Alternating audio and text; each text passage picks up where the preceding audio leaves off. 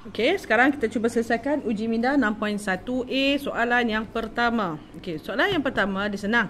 Okey, dalam ni dia bagi simbol macam ni. Maksudnya panjang lengkuk yang ni dan panjang lengkuk yang ni sama.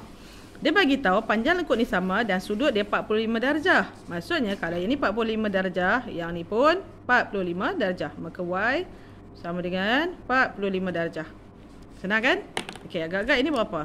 Ini panjang lengkuk 5 cm, sudut 65 darjah. Sudut 65 darjah, panjang lengkuk dia Y. So Y sama dengan 5 cm.